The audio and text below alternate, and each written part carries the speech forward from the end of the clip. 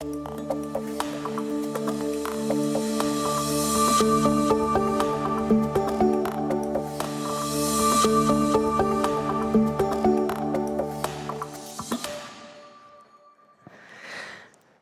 afternoon, and welcome to this session evaluating the first two years of the Media Freedom Coalition. Before we get going, let me introduce myself. I'm Jodie Ginsberg. I'm the Chief Executive of Internews Europe. I want to take this opportunity to thank the Estonian government for hosting us here. I think for many of us, this is our first in-person meeting uh, as a media freedom community for several years, and it's fantastic to see so many old friends and new friends uh, actually in person. But I also want to take this opportunity to acknowledge those people who aren't here and can't be here. The people that we are representing and have the fortune to represent over the course of this conference are journalists and media organizations working in extraordinarily difficult and trying circumstances, many of them facing daily threats, dangers, imprisonment, threats of death. And they don't have the fortune to be in this fantastic building having these conversations, and I want to pay tribute to them here. So, what is the Media Freedom Coalition? Well, it was formed with great fanfare in 2019 in London at the inaugural Global Media Freedom Conference. And it is a coalition of countries whose mission is to promote and protect media freedom worldwide. From a small group in 2019, it's now a coalition of 50 countries. But what has it achieved in the past two years? Well, a new report by academics from the universities of East Anglia, City University London, and the University of the Philippines considers that question. And having read the report, and you have copies of it in front of you, let me tell you, it doesn't pull any punches. The conclusion is that the Media Freedom Coalition made a good start, but it needs a reset. And it needs a re-injection of energy and funds to succeed. I have to say, after two years of, of living with a pandemic, I think that, that probably is something that resonates with all of us. Uh, and having read the report, I think it offers a really detailed insight into what the Media Freedom Coalition has done well and what more it can achieve. And, and, I'm slightly disappointed that the ministers are meeting in a separate room next door. I think they should really be here to listen to it. So I'm hoping that those of you who are here will convey it back to your governments because the conclusions and the discussions today, I think, are vital for ensuring that the Media Freedom Coalition achieves what it set out to do. Let me tell you a little bit about the format for today. This afternoon, we have a fantastic set of panelists who are going to help us consider the media landscape and the Media Freedom Coalition's role in it. I'll introduce the panelists, and the, uh, the, the panelists will introduce themselves, actually, in, in just a minute. The way it will work is this. We're going to, after the panelists' introductions, have an intervention from a variety of different speakers. We're going to group those interventions and responses thematically, picking out the themes that are considered in the report, uh, and then there will be some concluding remarks from Ambassador Bahia Tahzib, who is here from the new co-chair um, of the MFC, the Netherlands. So I'm going to now walk gracefully across the stage. It's, it's, very difficult to do this when you've spent two years in basically pajamas. It's, it's quite stressful, actually. Um, so you'll have to excuse me. Um, and I'm and I'm seeing you all in sort of bubbles and imagining that you're on screens because that's obviously what we've become used to. Panelists, let me just ask you to briefly introduce yourselves and your relationship to the Media Freedom Coalition. Mary. Hello, I'm Mary Myers, and I'm an external research associate at uh, the University of East Anglia in the UK. I'm the lead author of this report. Thank you. Owais. Uh, hi, my name is Owais Aslam Ali. I'm Secretary General of uh, Pakistan Press Foundation. Uh, I was elected as the co-chair of uh, Media Freedom Coalition's consultative network with the support of uh, GFMD. And uh, I retired yesterday. And we have a new co-chair, also from South Asia. So really happy about that. Uh, good afternoon, everyone. My name is Jeff Marder, and I am Executive Director of the Human Rights and Indigenous Affairs Policy Division at Global Affairs Canada, which is our fancy name for Canada's Foreign Ministry. And for the past year, I've been heading the team at, at the ministry uh, that leads on the Media Freedom Coalition, so uh, in a co-chair role, which will continue, uh, it's been with the UK, and it will continue with the Netherlands for the year ahead. Thanks, Jeff. Uh, I'm Can Yeğinsu. I'm an international lawyer and barrister practicing in London. I was asked by uh, Lord David Neuberger to succeed Amal Clooney as the deputy chair of the high-level panel of legal experts on media freedom. I can tell you happily that um, the person I'm serving with, Catherine Amirfar, is currently addressing the ministers and probably um, uh, telling them the sorts of things that I might be saying here today. So you have a, a voice. Excellent. That's good to hear. So the report that uh, you have the summary of in front of you picks out a number of themes and areas that the Media Freedom Coalition set itself essentially as targets. The first theme is promoting accountability in responding to media freedom violations want to think now about how the Media Freedom Coalition is responding to those violations. Is, it, is naming and shaming of countries working? And what should it do to respond to incidents of media freedom violations and address impunity? To kick us off in thinking about this, I'd like to invite Rebecca Vincent, Director of International Campaigns with, for Reporters Without Borders, RSF, to address us. Thank you, Jodie, and thank you so much to the research team. We are so grateful for this work. Um, and just to be very clear, we did feed into the research as well. Um, I personally gave an interview, and I believe other colleagues spoke to the team as well. Um, I think it's very needed, and we, we broadly have come to the same conclusions within RSF. Um, Maybe I should preface this with RSF and the other members of the, civil, uh, of the consultative network, the other civil society organizations that have worked together on this. All of us want the MFC to succeed. We always have. We've all put in hundreds of hours of staff time uh, in good faith, really hoping that this coalition will do what it set out to do. And we still remain very hopeful that that will be the case. Um, this report can serve as a useful guideline in terms of identifying areas uh, where things have worked and where things haven't, and, and how we can move forward together more robustly, um, and especially on the side of the states involved, to hold themselves accountable and to hold each other accountable for their own media freedom performance as well. Um, just to make it clear, I'm not speaking on behalf of the CN. We're, we're very well represented by Owais here, and we've been grateful for his efforts as co-chair. Um, just speaking um, on behalf of RSF um, from our own experience within the consultative network, and also as a member of the External Advisory Committee of the high-level panel, um, we've been very heavily involved in, in all of the various processes around this. Um, it's clear that some member states have approached their involvement in the MFC with the best of intentions. Um, some states have allocated significant time and resources into setting it up and making it work. Some states have enthusiastically initiated joint actions, supported joint statements, allocated funding to the Global Media Defense Fund, served as co-chairs or executive group members of the coalition, and hosted conferences like this one. Um, and, and some have taken great care to try to work to improve their media freedom performance and hold other states to account as well.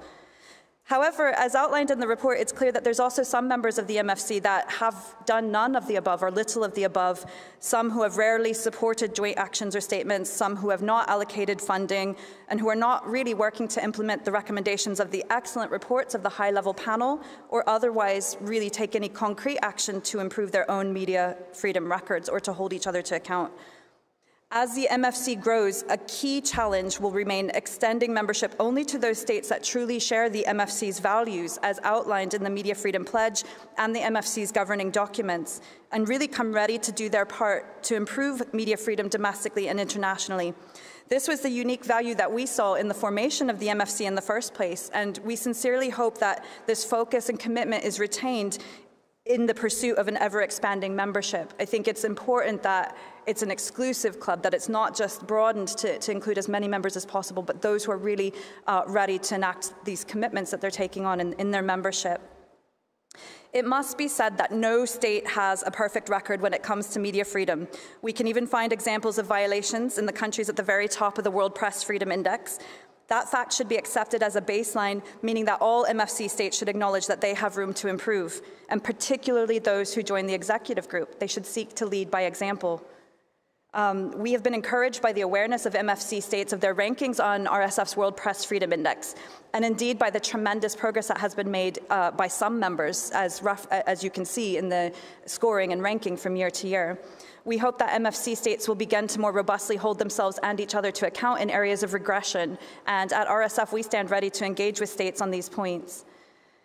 Um, we expect a lot from our democracies, and we expect a lot from MFC members in particular. Um, we could point to cases where the MFC has not done enough in our view or has not acted at all, and I don't want to go too in depth into too many cases. Um, anybody on the, the consultative network can speak of the case referrals we've sent over, and we've seen the products of some of those in the report. It's, it's provided really useful data about who has signed what and what statements um, have had an impact.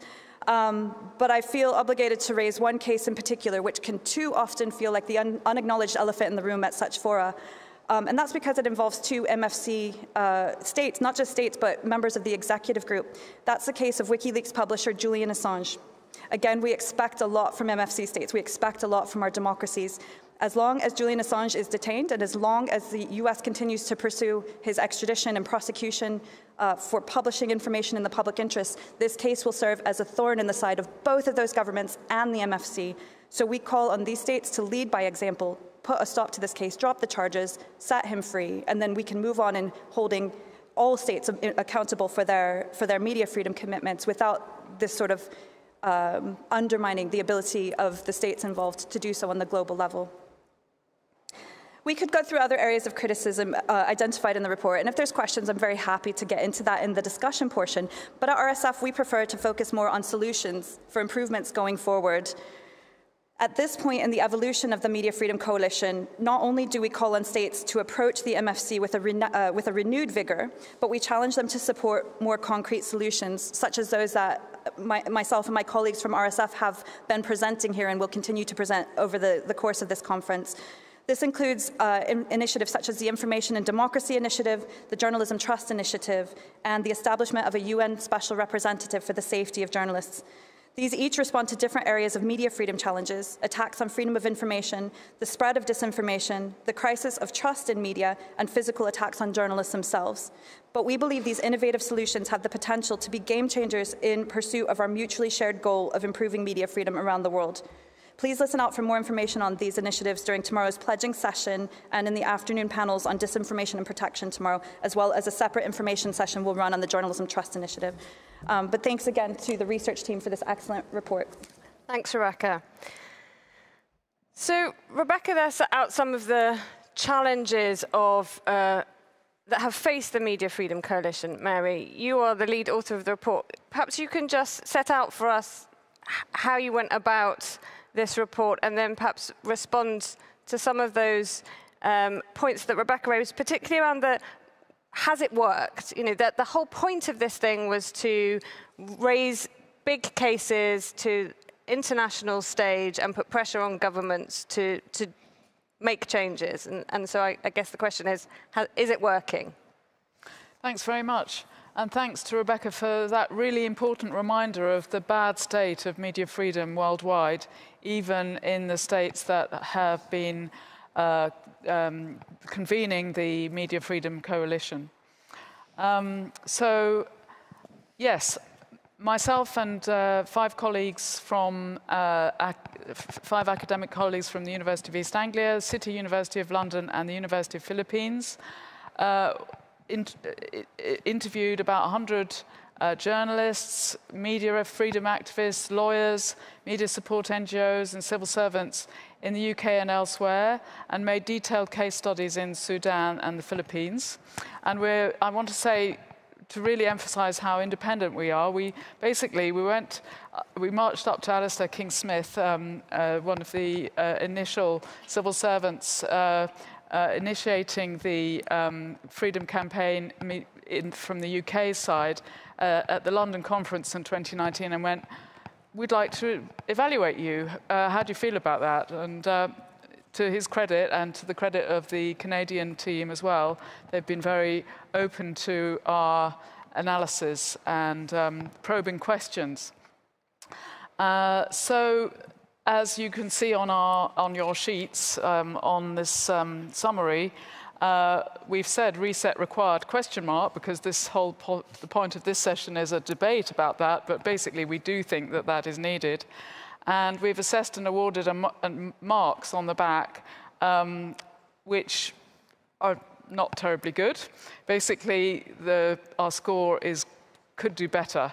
The color-coded scoring we've given uh, is an amber red overall, which means unsatisfactory achievement in most areas with some positive elements.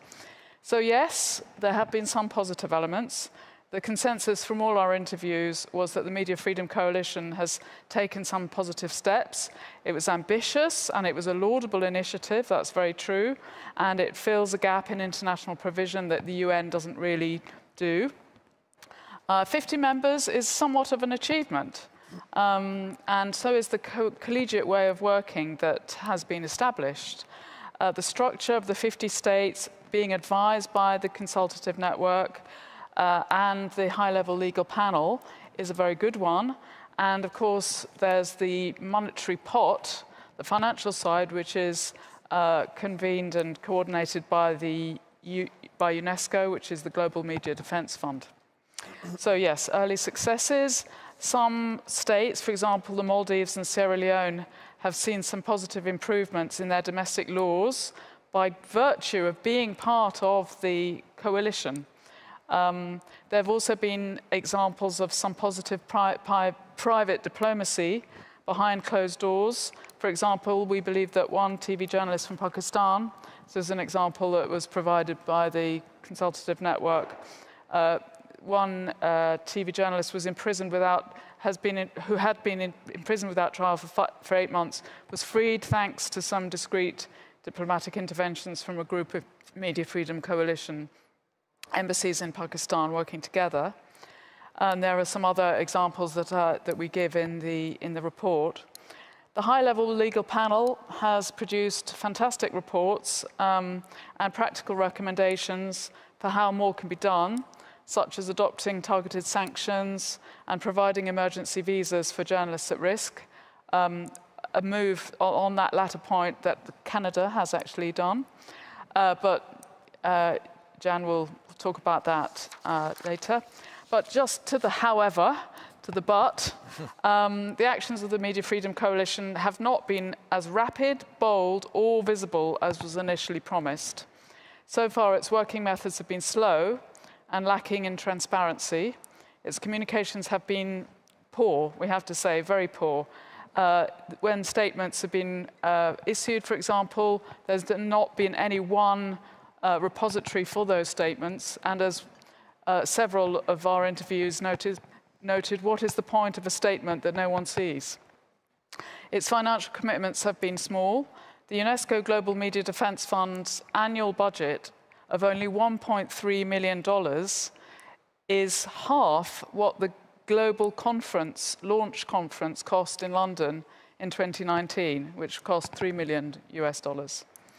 Finally, the political impacts and effects have been minimal, minimal, with a worsening global situation over the last two years, not really an improving one, as we will hear, as we've already heard from Reporters Without Borders, and we'll also hear from my colleague from Sudan and my colleague from the Philippines. A lot of these problems have been due to COVID, there's no doubt about it. It couldn't have come, this, the pandemic couldn't have come at a worse time, really. Um, just a month after the first working meeting of the coalition's diplomats in, in Geneva. And of course, COVID has exa exacerbated the problems for independent media worldwide and shaken the very foundations of what's true and what can and should be reported and what are lies. But our respondents and interviewees mostly felt that over the last two years, there has, there has been a somewhat of a re-injection of energy into the issue of media freedom, partly because of COVID, partly because maybe this was as a result of the fact that uh, people like Maria Ressa and Dmitry Muratov have been recognized by the Nobel Committee and so on. Um, and also that the Media Freedom Coalition has recognized its own shortcomings. So there is a chance now for a reset. Excellent. Well, Jeffrey, you are, you are taking Taking it for uh, the entire of the, the, Media Freedom Coalition, thank you very much for being their representative. Not rapid enough, not bold enough, lacking in transparency and poor communications. Do you think those are fair assessments of the Media Freedom Coalition for the past two years? Wow. um, well, thank, I mean, I, I, want to start by thanking everyone who, Mary and, and, the whole team that produced the report. I mean, we very much welcome, uh, you know, uh, well-researched constructive criticism, and that's certainly what we've uh, seen in the report and your recommendations. And, and I think, Mary, you hinted at this a bit. Um, you know, we're, we, are we are a young organization. Uh, we've been around for about two and a half years, not even three years. So we're, we're finding our way as we go along. I, I think I'll address some of the broader issues in my intervention uh, a little bit later. But we, you know, by and large, um, the critique that comes out in the report um, jibes with the kinds of discussions that we've had internally, internally in terms of recognizing what our strengths are and what some of our weaknesses are and where we have to put more uh, focus. So maybe what I'll do now, I mean, I, I guess this se segment is on accountability. Why don't I try and uh, address some of the issues with regard to accountability and some of the criticisms that we faced, and then in my later intervention, I'll talk to some of the broad uh, issues. Otherwise, I would dominate the whole stage uh, right now. Um, you know, on accountability, I, I, guess you're looking at it in, in two uh, respects. One, how do we um, engage around the world uh, for accountability for um, suppression of the media and, and actions against journalists, but also our own internal accountability in terms of the, the membership. So if I can look at the first question uh, initially, one of the, the big focuses, and this is uh, something goes back a, a, few months, I mean, to date, to a large extent, um, the Media Freedom Coalition has focused on the issuing of statements, statements um, focusing on country situations, situations of concern, or thematic uh, statements. And um, I, I, think there have been some positive effects from those statements. Sometimes it's challenging to measure, uh, you know, measure the results of, uh, of statements. I think by and large those statements were initiated by members of the Media Freedom Coalition in their capitals. But we've recognized that the people, uh, I mean our people who, who know the best about uh, challenges on the ground are our diplomatic networks. I mean the countries of the Media Freedom Coalition have diplomatic missions on the ground around the world.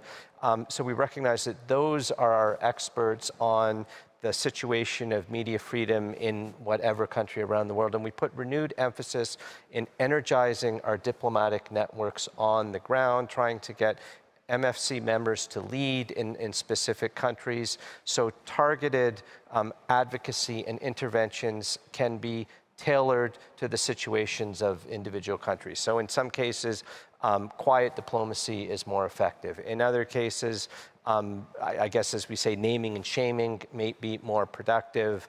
Um, other actions that can be taken are presence, diplomatic presence at trials. Um, so by focusing our attentions and energizing our diplomatic, diplomatic networks on, on the ground uh, around the world, I think that um, will give us a, a, better opportunity and allow us to up our game in terms of holding countries to account for violations of media freedom. That's great. Did you did you want did you have a second?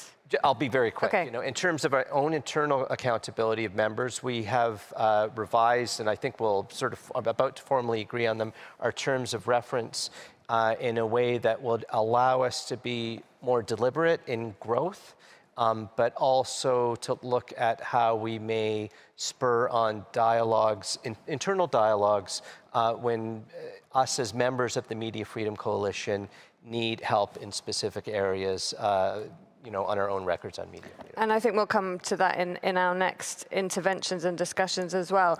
Owais, I want to come to you. You've been at sort of the heart of the Media Freedom Coalition from the non-profit civil society sector as, as the co-chair of the consultative network. I want to ask you whether you think the approaches taken to date by the MFC, in other words, the, state, the 22 statements that Jeffrey talks about, the, in, the quiet diplomacy, have they had the kind of impact that you expected when the, the Media Freedom Coalition launched? Um, again, I think uh, it has taken a little bit of while for MFC to, to, to, to move. Uh, in terms of uh, statements, I think um, maybe uh, not as uh, powerful as they could be. They have generally been, uh, we are civil society organizations, so there is a disconnect. What we want to do is to be much, much bolder. And of course, by definition, countries have to be uh, a little more uh, cautious about it. So, so, so there's that uh, disconnect. But then, in terms of statements, there were, there were a few pretty glaring examples that cannot be ignored. Uh, for example, um, when there were dozens of uh, journalists that were attacked in America in, in, in, in those riots, uh, when, uh, uh when uh, Israel bombed media organizations, uh, when India blocked internet access for months and months, those were issues which, which did not figure in the MFC.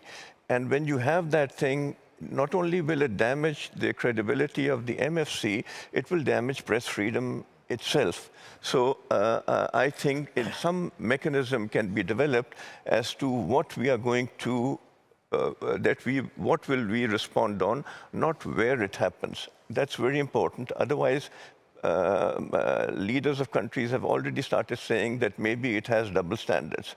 And we need to be very careful that we, we, we sort of manage uh, uh, those that, uh, that happens. In terms, uh, like Jeffrey has said, I think um, uh, the uh, diplomatic network, activating the diplomatic network has great potential. And as Mary has pointed out, it has already resulted in the release of one journalist that I know who was jailed for eight months, and then later, just last month, he was acquitted. So poor guy was jailed for no reason at all. The second part where uh, uh, MFC member countries were, uh, uh, uh, were, were, effective was that the media wanted to bring out a law related, which would be a super regulator, which was really a draconian law. And uh, MFC members publicly in Pakistan spoke about it. they met with the journalist organizations, and the government has had to move back. So there's tremendous, tremendous power of the uh, MFC uh, if it, uh, when, it is, when it exercises it.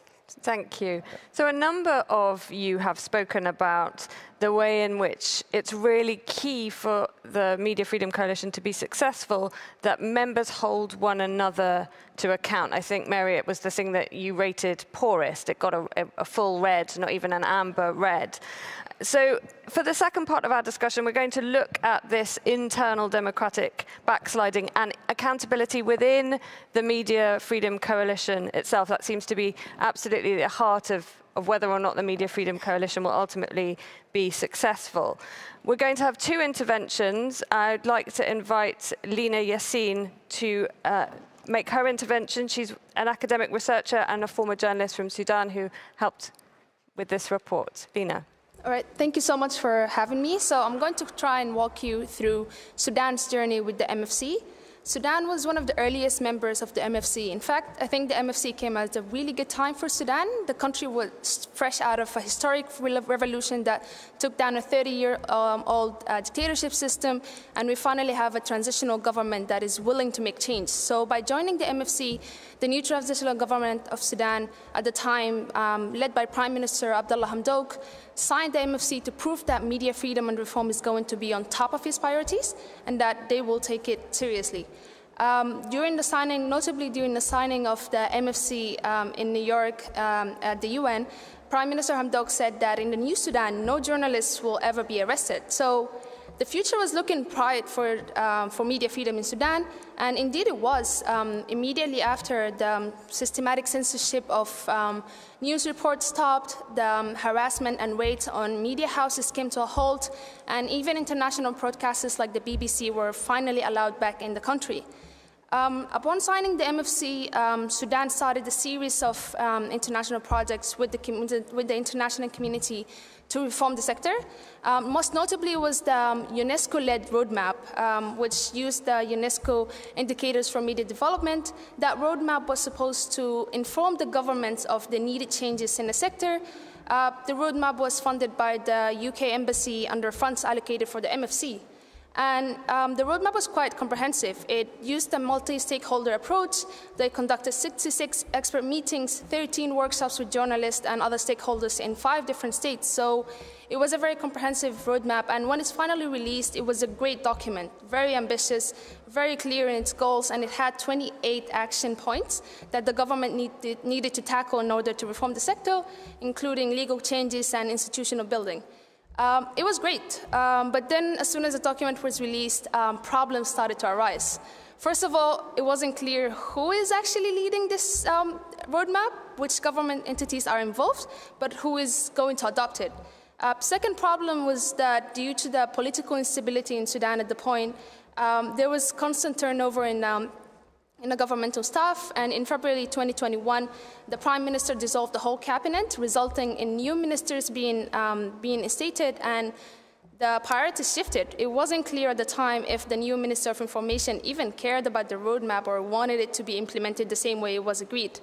Um, third problem, which I think was the main problem for all, all Sudan, was the tension between the in the government. There was a tension between the military side of the government and the civilian side it was, it, the tension was very high, resulting sometimes in contradicting actions. Because, for example, the government, uh, the military on one hand would be intimidating journalists, trying to sue them, and the civilian side on one hand would be um, hosting workshops about media freedom and, and, transparency and access to information. So those were actions in two different um, positions coming from the same government, which made people really confused about who's actually in power and who's deciding things. Um, fast forward to November, last November 2021, uh, that tension exploded, resulting in a military coup that took down the, um, the prime minister and uh, the, the, military arrested multiple ministers. And the media freedom work that was done under MFC was completely erased. Um, journalists were back to being jailed, harassed, um, beaten. Uh, the uh, Al Jazeera license was removed, and actually just yesterday, the BBC crew in Sudan was arrested. So you can see that things are not as bright as they were two years ago. And um, honestly, moving forward, we're not sure what's going to happen for the future of media freedom in Sudan. What can be learned from this and from the research outcomes is that most of the international efforts were short-termed. Uh, they were uncoordinated, but, and they also just lacked um, engagement with the Sudanese entities. That's, that's one of the things that were pointed out in most of the interviews that we've conducted. And we've recently spoke to, in late 2021, we spoke to some journalists about the current situation. And they all told us that they're quite disappointed in the international communities, specifically the MFC for their silence regarding the, uh, the situation in Sudan. Um, right now, the, the, political scene in Sudan is quite complicated. It's almost impossible to predict what is going to happen next. But um, I'm quite sure that um, um, the future for media freedom in Sudan is not as bright as it was two years ago.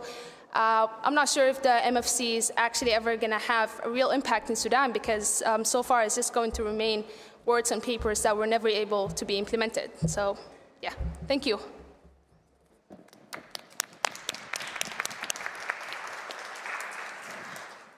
And I'd now like to invite Susan Coughtrie, the project director from the Foreign Policy Centre, who's helped put together this report and also this fantastic event. Susan. Thank you, Jodie.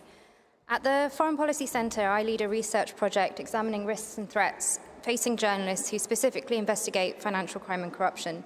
I think it will come as no surprise to those here that the countries with the highest rates of corruption are also those amongst which rank the lowest for media freedom. The political and business elites who enrich themselves at the expense of their fellow countrymen and women are strongly motivated to avoid the public scrutiny of their affairs and have deep pockets to shut down the unwanted glare of journalistic inquiry. At home, that might be through creating a regressive media environment or funding harassment attacks or even murder of journalists. Yet illicit wealth is often funneled abroad to other countries, particularly in the West, where it can also be used to pay for services to intimidate journalists. This includes vexatious legal action referred to as SLAPs, strategic lawsuits against public participation. There are many examples, but I'll provide a couple just to illustrate the overall issue. Last week, the UK National Crime Agency won a case to seize 4 million from the UK-based family members of an Azerbaijani politician. The NCA relied upon the work of the Organised Crime and Corruption Reporting Project, OCCRP, which uncovered a complex money laundering system they called the Azerbaijani Laundromat. Between 2018 and 2020, OCCRP's co-founder, a Romanian citizen, was pursued through the London libel courts by the very same Azerbaijani politician. He had ultimately decided to settle the case on the eve of the trial, but by then OCCRP had had to raise hundreds of thousands of pounds to mount a legal defence, hand over swathes of information during an invasive discovery process, and use up their valuable time and resources diverting them from their work. The Azerbaijan laundromat had found that 2.9 billion had been laundered out of Azerbaijan at a time of severe crackdown for the country, including the arrest and imprisonment of independent investigative journalists. There are similar laundromats linked to Russia, other former Soviet Union countries, and elsewhere where the situation for media freedom has been in rapid decline. When, in 2019, journalists exposed significant corruption in Kyrgyzstan's customs service, including the transfer of 700 million to Germany, the UK, the US, and Dubai, countries where, amongst other things, large real estate investments were being made, it was the local journalists who paid the consequences. They had their media assets frozen, They experienced harassment, physical arrest and um, death threats. In 2020, we at the FPC surveyed 63 investigative journalists working to uncover financial crime and corruption in 41 countries. While the majority of the respondents were experiencing a wide range of threats, it was the legal threats that they strongly highlighted as a matter of key concern. More than 70% had received legal threats um, as a result of information they had published. When the Maltese investigative journalist Daphne Caruana Galizia was murdered in 2017, she had 47 civil libel suits open against her, most of them brought by Maltese politicians and their business associates which she described as an intimidation strategy as they retreated under siege from her investigations into their corrupt practices. These legal threats were not just issued in Malta, but also in the UK and the US. Since then, the use of SLAPs appears to have only proliferated.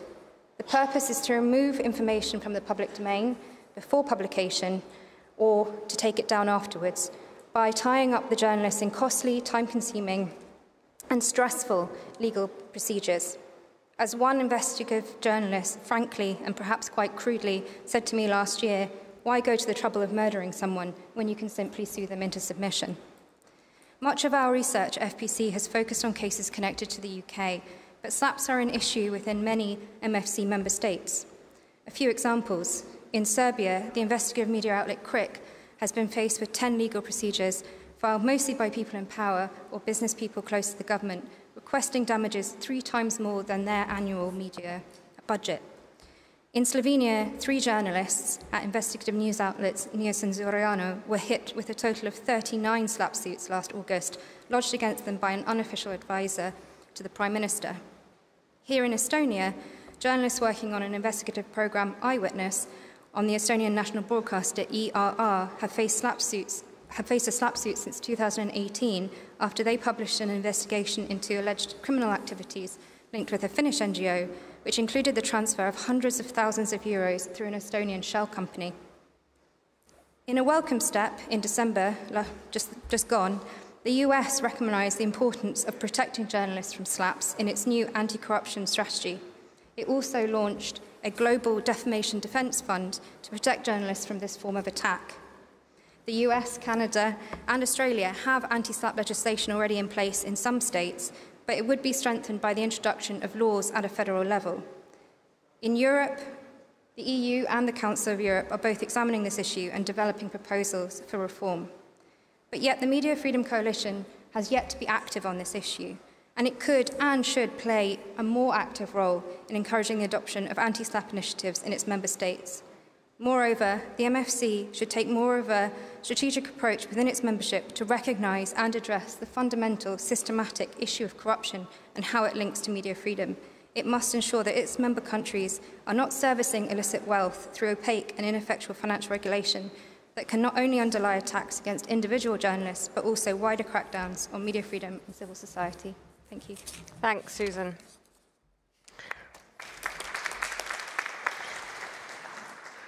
John, that's a pretty sobering picture that Lina and Susan have just painted, both of the deterioration or the, the, the pot potentially the, the inability of something like the Media Freedom Coalition to, to intervene in Sudan and make a difference. And then, of course, the, the fact that so many journalists are facing these legal threats that emanate from countries that are members of the Media Freedom Coalition. The high level legal panel has produced four reports all of which actually contain recommendations for things that MFC members themselves could do. Can you just talk to us about what MFC members can do to improve accountability amongst themselves? Of course, thank you, Jodie. And uh, yes, I want to, I want to change um, gears from statements to action. Um, I want to say something, a, a preliminary point about statements. Maria Ressa, Nobel laureate, I'm just taking my high-level panel hat off for a moment, is my client. Um, it was surprising to see how few states signed up to the statement in relation to the Philippines. And Mary, you know, the analysis um, in, your report is, is sobering in that, in that regard.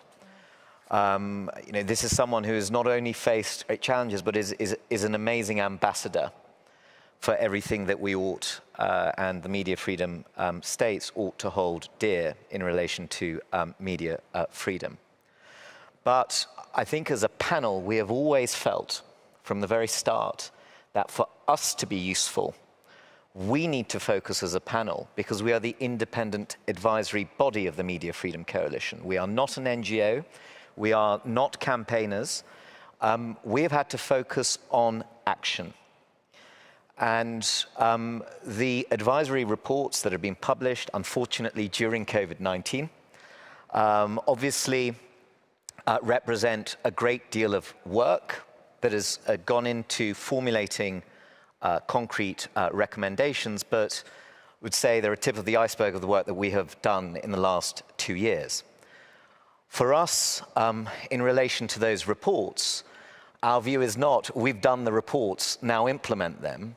Our view is, we've done the reports, you've all had plenty of time to read them.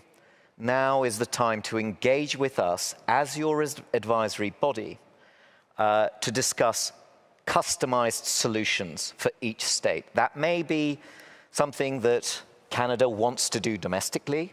It may be something that um, uh, Canada wants to promote as a co-chair for other states because they're all, all, already doing things. And I think we need to also take step, step uh, stock sorry, of, of, of some of the action. A bill has passed the Parliament in the Netherlands for an emergency visa, directly related to our recommendation. And we've worked very, very hard with NGOs in, in, in the Netherlands um, uh, on that. That's been a real joint effort. Equally, um, the steps that Canada has taken in relation to its international protection scheme, um, these are not conservative steps. And for us as a panel, uh, our focus on those four areas of reports for us, those are four areas where we can go beyond statements as a media freedom um, coalition. And um, some states will have their own priorities in respect of um, all of these different areas. Those reports are the starting point for a detailed conversation. And are you having that detailed conversation though? I mean, that's the thing that I think for many people it's difficult to see yes. from the outside yes. how, how much of that engagement is actually happening. I mean, I, I think it's fair to say that we have been quite patient um, because of COVID-19, because a lot of this engagement does need to be in person. It sometimes needs to be with ministers, etc. Some of the engagement that we have had uh, gives us cause for cautious optimism, but there is a systemic issue within the Media Freedom Coalition that has very little to do with the panel, and it's all over the, the report um, that has been authored, which is, you know, how will the Media Freedom Coalition itself organize itself? And now with this leadership block, that's, it's, it's a huge opportunity for us to be engaging directly with the executive group and of course with, with, with the new um, uh, co-chairs. So we have started, including around this conference. Um, um, but I, I, in particular with Canada, we have had um, very, very good conversations, and it is, it, it is leading to things. Um, and I have hope with the new co-chair, the Netherlands and the United States and other, other members of, of, of the executive group. But for us, it really needs to be about action, not just the action that we are advancing in our reports. Sudan is, is a fantastic example. I, uh, uh, Minister Abdul Bari is an old friend of mine. Before the coup, um, you know, we had started doing some work together, the high-level panel, and Sudan slaps absolutely critical to our work as a panel in the next um, uh, two years. So hopefully as we open up, we can also raise awareness ab about our work. We see ourselves as a way of building capacity into the media freedom um, uh, coalition, whether it's accountability within or accountability out with.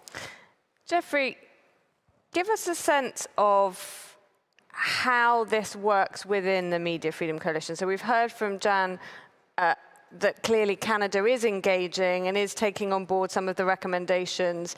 How, just give us a sense of how those dynamics work within the Media Freedom Coalition and how far you're able to encourage some of the other countries who are members to, to have the kind of engagement that you are having? And what are the barriers to some of those other countries doing what Canada's doing?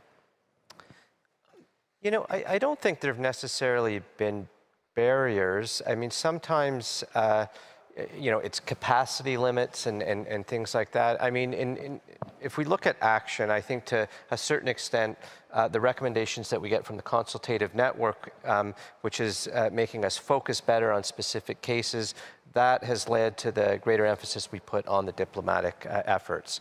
I must admit, and, and, this is, comes out of conversations we've had with Can and, and with um, Catherine, the co-chair, um, that the high-level panel of legal, legal experts with their uh, four thematic reports have set a very high bar. Um, and it, it's only been recently that we've been focusing on uh, the idea of bilateral conversations yes. with the panel um, to help individual states um, uh, achieve some of the recommendations in the report. So this is, these are really new conversations, and I think it is uh, steering the MFC and the membership of the MFC in a new direction to engage on responding to the reports um, by, through bilateral conversations with the legal panel and by looking at them as a resource that can be offered to states to help improve any deficiencies that they might have. And anti-SLAP legislation is clearly one of the areas I think that the panel would be able to assist Can with. I add just yes, certainly, go on. I mean, something more powerful than a statement about um, uh, legislation that's going in the wrong direction or legislation that is positively um, you know, antithetical to media freedom. Something more powerful than a statement is a 15-page legal opinion that is public and has had 15 independent lawyers sign off on it that the Media Freedom Coalition can then stand behind. That is the work of the Venice Commission within the Council of Europe. We see ourselves in, in, a, in, a, in a similar role. Of course, on individual cases, slightly different with individual journalists, but you know, for action, when it's legislation, I mean, legislation has to be looked at in the context of that state's international legal obligations. This is not, this is not a statement. This is not aspirational. This is a matter of international legal obligation. I, we really need to move towards um, looking at um, uh, uh, obligation rather than aspiration. Obligation and accountability. And yes. Mary, this is the area that in the report you rated the Media Freedom Coalition most poorly. In your assessment, what is the challenge in MFC members holding one another to account? And, you, you highlight the, the, example of Sudan, but also of Afghanistan, which remains a member of the Media Freedom Coalition, despite the fact that, that you know, the media has now collapsed and, and journalists are now targeted. What for you is the real challenge for media freedom members holding, holding each other accountable? Well, it is really quite amazing, isn't it, that Sudan and uh, Af Afghanistan are still members of the coalition, uh, considering the political changes that have happened there. And uh, as we know, the Taliban in Afghanistan, I think 40% uh, of the media outlets there have, have disappeared. Uh, so I think seven out of every eight female journalists has no longer uh, have got a job. Yet there's been utter silence publicly from the MFC about that. I know things are happening behind closed doors, but can I just remind you of something that is in the terms of reference of the Media Freedom Coalition, which is to shine a, shine a light on violations related to and abuses of media freedom, bringing them to the attention of the global public. So it's not, of course, you were, you were saying, Jeff, it's partly about pub, private diplomacy, but it's not just that. It's about, sh should be, I would say, shouting from the rooftops. So what is stopping the Media Freedom Coalition shouting from the rooftops. I suppose it's actually, I mean, our analysis is that it's a sort of cultural blockage in a way. It's a sort of, it's almost like the difference, but I, the way I see it is the difference between the way the, the old Department for International Development in the UK went about things and the uh, the Foreign Office goes about things. Now they've, they've merged together, so it'd be interesting to see how they can, uh, you know, combine those two cultures. But it's, it's this sort of reluctance by civil servants and diplomats to go public. And um, I think that's partly at the core of some of the systemic problems that the MFC has had. But um, I think that maybe now with a better uh, public presence, uh, the MFC will address some of this sort of the, the, the, the public-facing aspect of its, of its work. Owais, you've obviously been very closely involved in, in the Media Freedom Coalition's workings. From your perspective, what, did you see that you felt was, was making it difficult for members of the coalition to call one another out? Or you, you mentioned the statement, or the lack of a statement, for example, on the United States. Can you give us a bit of insight for those people who are not closely involved in the discussions about why you think, what, what you think is holding it back? I think uh, most of the countries, although there has been uh, um, a lot of effort and it has gone to, uh, you know, now uh, 50 countries. But most of the countries are like-minded countries. They work with each other. They support each other. And it's difficult, what my analysis has been, to call themselves out. And even with the 50 membership, uh, still it looks pretty much like the international community and a lot more effort needs to be done to make it look like the real world. And I think when you have more diversity of membership, then there would be a point where some country would be able to say and call the other one out. Right now, uh, MFC are like-minded countries. They see a problem if it occurs somewhere else. They don't see a problem when it is occurring within themselves. So this, I think, is a big problem. And eventually uh, MFC will have to have protocols which says when the statement would be issued or do away with the statement at all. You know, you have um, the diplomatic network, diplomatic, yeah, the networks that they have, very powerful, support for media development, very powerful. But unless there's credibility in public uh, either you don't have uh, public pronouncements and announcements and statements, and if you have the statements, make sure that it is applied uh, throughout. So that's a, that's that's that's a weak point. And that's one of the things I think that the report pulls out is the need for transparency around metrics and and how you make assessments and when you make assessments. I think there's interesting as well about this balance between whether you have like-minded countries that enable you to move at speed, which is one of the arguments for having a grouping like the MFC as opposed to putting it all in a United Nations function versus uh, a much more a much broad-based organization. I'm going to go on to the next theme now, uh, and that's the question of media sustainability. We heard at the beginning that one of the recommendations, or the, one of the big recommendations from this report, is a re-injection of energy, but also of funds.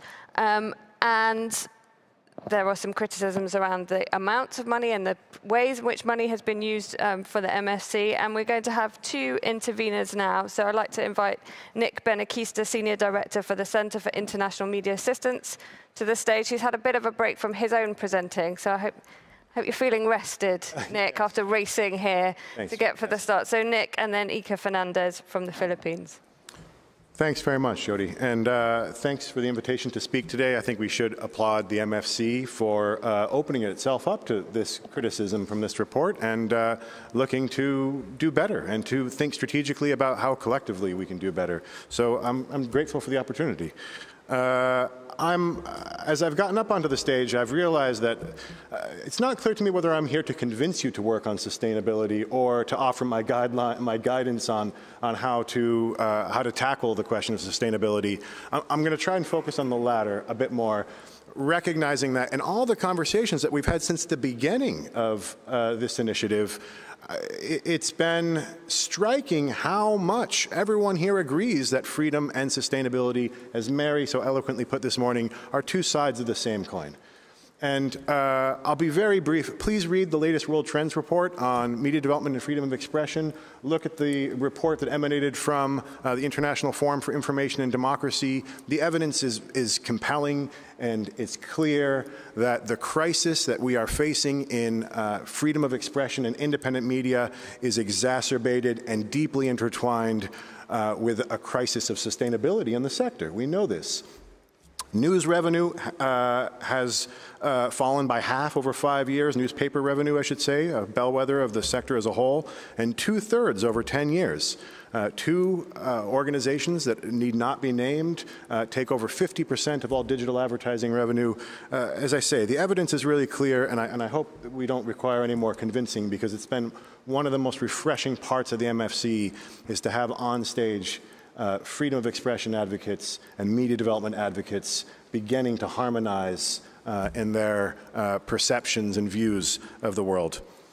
So uh, I think what you can do to uh, address media sustainability uh, is to continue uh, to describe this intertwined challenge that we have.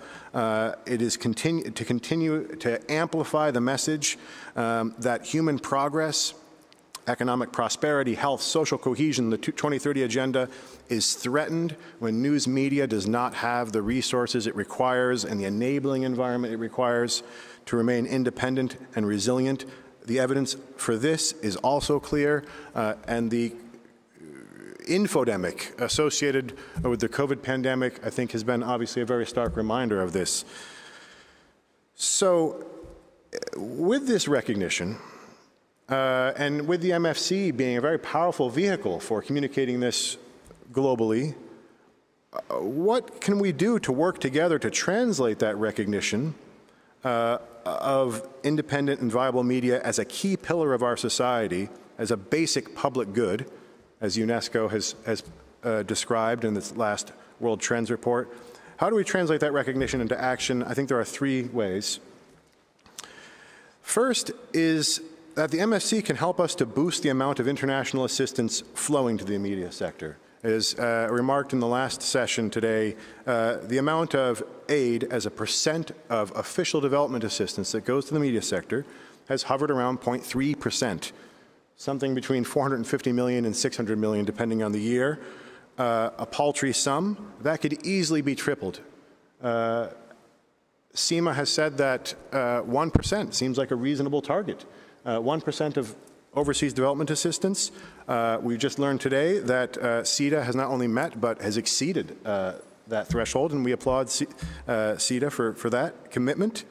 Uh, and look, that's still a modest amount, and we know how to use those resources well. In this room are, is a great deal of expertise, and our partners around the world, we know how to spend that well. Nobel laureate Maria Ressa's outlet, Rappler, would not exist today if, if it were not for international support. And there is a generation of highly committed, pure play, frequently digital news outlets around the world that need support. But more than that, uh, that support is fundamental for policy reforms, professionalization, support for business models, media literacy, efforts to counter disinformation. That, that, that aid works. A UN report also confirms that recently. So while we can do more with, the, with more aid, and while we can also continue to make that aid more effective, international funding and technical assistance alone will not fundamentally solve the problem of media sustainability without greater political will to create a better enabling environment for media. And because the MFC brings together civil society, international aid community, high-level diplomatic representation, it's uniquely positioned to help with those challenges. Uh, and in, in two other ways. So the MFC can help to mainstream the norms of independent media into diplomatic relations, trade negotiations, regulatory debates, and other international norm, norm setting efforts, uh, as Ambassador uh, Tazib also remarked upon earlier today. The, the, European Union's generalized scheme of preferences plus arrangement slashes tariffs for countries that implement 27 human rights conventions, including access to information. That's one example. Uh, that, uh, that scheme uh, added a great deal of pressure in the case of Pakistan uh, for implementing freedom of information. The MFC can help us to identify those kinds of mechanisms and to make sure that they are implemented and at perhaps a greater scale than we've, we've seen in the past. Another example, you know, there are about 100 platform regulation inquiries, reviews, and proceedings worldwide uh, looking at uh, platform, internet platforms and their potential monopolization in the online digital space. Uh, this is according to data from Carleton University and the University of Freiburg.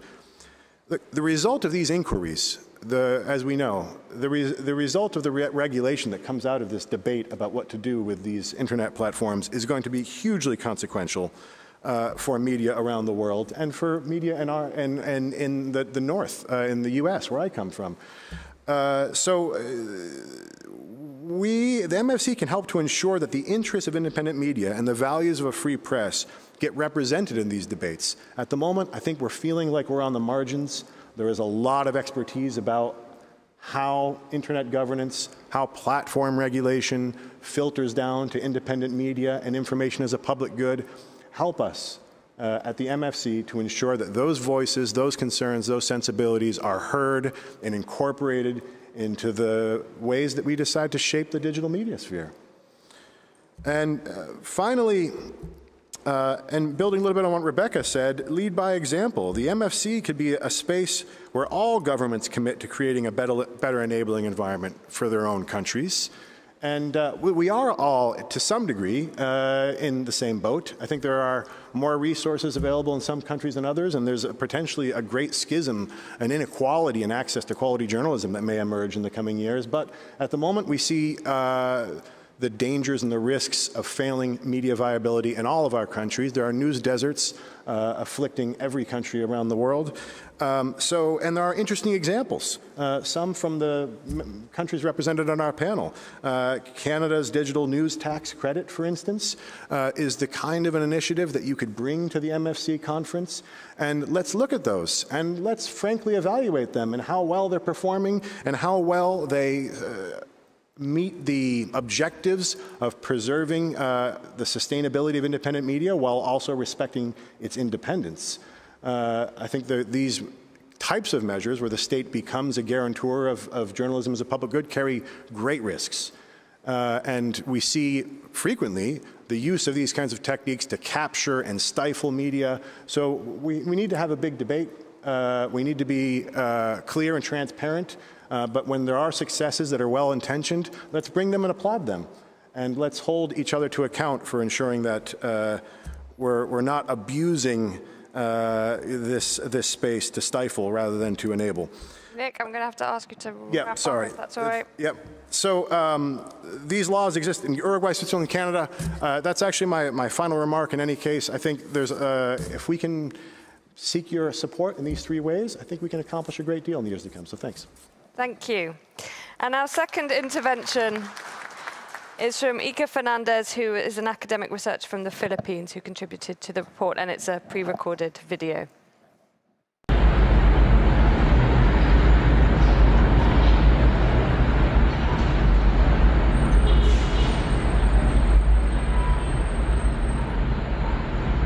Okay, Uh, good afternoon from the Philippines. So, given this topic of economic threats to media, the Philippine experience is quite an interesting case to jump off from uh, based on our review of the UK's Global Media Freedom Campaign uh, in the from the period of 2019 to early 2021.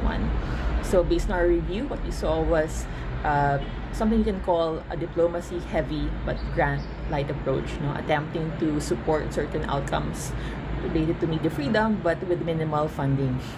So, some context. To this day, uh, the Philippines under Duterte still rejects narrative of state suppression of press freedom. It says that it's not about media protection, uh, but media responsibility, saying that um, all of these events, uh, these threats, uh, the killings, no, it's not about state abuse, but can be traced to an industrial uh, set of issues, no, tied to journalist integrity, labor rights, um, the monopolies over video ownership, as well as um, broad uh, lack of public media literacy uh, tied to disinformation, misinformation, as well uh, as the pandemic itself. So uh, this reflects the kind of tightrope uh, that uh, the UK and other donors have had to play in the Philippines. And you see this in uh, the way that the UK has designed its portfolio. Um, building from its human rights and governance portfolio. So uh, its portfolio has three components. No, uh, first is uh, the standard public-facing advocacy events, uh, speaking about uh, the importance of media freedom and press safety in a functioning democracy, and of course projecting the UK as a vanguard of such ideals. Uh, the second track is um, using public and private diplomacy, using conversations, dialogues with government officials, uh, media actors, and accompanying certain processes, uh, such as that of Maria Ressa and ABS-CBN. And thirdly, provision of small uh, grants to grassroots, uh, grassroots NGOs and media workers. And for the third part, when I say it's um, small, no, it's very modest. Uh, during the first round of implementation, the UK Embassy in the Philippines had 70,000 quid for uh, operations, but that was lashed to 15,000 uh, due to pandemic uh, aid cuts. No, uh, the current fiscal year, the call was for 10,000 pounds uh, cap. No, so uh, given all of this, you can see it's very, very modest. But uh, we found that despite this limitation, um, the UK implemented uh, media freedom campaign in the Philippines generally was successful as a pilot project, a pilot diplomacy initiative, uh, which was which people found as relevant and timely uh, in terms of the, the current context in the Philippines. No, uh, when he spoke to other partners, he said it fit pretty well as a top-up mechanism to support pre-existing structures for monitoring and financing. And when he spoke to journalists who knew of this uh, project and were involved uh, in these dialogues, he said that if it were you know any other time, it would be just lip service. But given how embattled they are, they found that knowing that certain uh, diplomatic diplomatic actors were uh, in their corner was very very important. So it is also uh, observed no that for um, the real regional trial court judges who were handling cases that of Maria Ressa and Rey Santos, uh, they were a bit, you know, more careful, knowing that uh, diplomatic actors from the UK, Canada, Australia, Belgium, France, and the EU were there watching the legal proceedings, whether uh, online or uh, on face to face before the lockdowns. No, and when he spoke to the uh, beneficiaries who were deftly in, in selected with, with some strategic uh, perspective, they said that yeah, it's smaller compared to other actors. Uh, but in terms of flexibility, the UK is very flexible and provides certain, you know, uh, access to, to legal and diplomatic channels and networks which would not be possible elsewhere. So it works, no? Uh, however, uh, impact and visibility were minimal, particularly for those who were not involved uh, directly in the project. No? Uh, and, and, so this is something which applies also to UNESCO, which has been operating in the Philippines for the longest time, but the Global uh, Media Defense Fund, which UNESCO administers, is not something popularly known, uh, much less the UK's role in the fund as, um, as a contributor. So uh, more importantly, no, uh, at the end of the day, the intention was to support safety and accountability. And in terms of um, the issuances, uh, such as that of the, uh, the Media Freedom Coalition, which uh, they had a joint statement on the Philippines.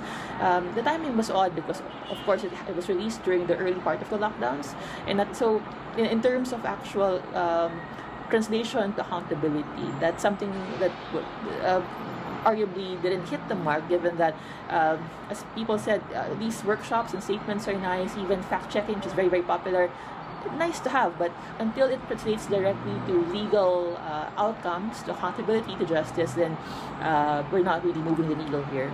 So moving forward, again, uh, interesting as a pilot, but sustained and substantial effectiveness will depend on how um, the UK and other actors can collaborate and ensure um, uh, continuous uh, positive pressure on uh, in this space. Uh, it's going to be important more so now uh, with the upcoming May 2022 elections, which will determine the national trajectory of the Philippines for the next decade easily. Um, but again, uh, with this grant, uh, light and diplomacy heavy approach, you have two limitations. One is that uh, it depends on the capacity and deftness of, of diplomatic personnel to navigate the terrain. And second is uh, there is a perceived uh, privileging of certain figureheads, uh, such as that of um, uh, Nobel Prize winner Maria Ressa, over other regional grassroots actors who are, are facing uh, similar threats, no, but aren't uh, uh, aren't receiving uh, similar support, uh, particularly those who are associated with uh, the left or the Philippine Communist Party. So, given all of this, it raises very interesting questions regarding uh, the interplay between international initiatives and local realities. Like, at the end of the day, you have to put your money where your mouth is. So, how do we now uh, adjust our implementation to translate intentions and vision into actual action? Uh, thank you very much. Thank you to Ika. So, we heard the, the phrase diplomacy heavy grant light Owais, and it's one of the things that the report references is in the context of the ambitions of the Media Freedom Coalition of investment in media uh, development more generally, the grants given sort of on behalf of the Media Freedom Coalition were very minimal Owais. Where do you see the Media Freedom Coalition intervening in the media sustainability space? Okay. Um, to be fair, uh, Media Freedom Coalition uh, only recently, a couple of months ago, uh, did they start focusing on media sustainability, media development. The first part was taken for on the other side of the coin, which is uh, media freedoms. So uh, within that, uh, now a working group has been formed on media uh, development.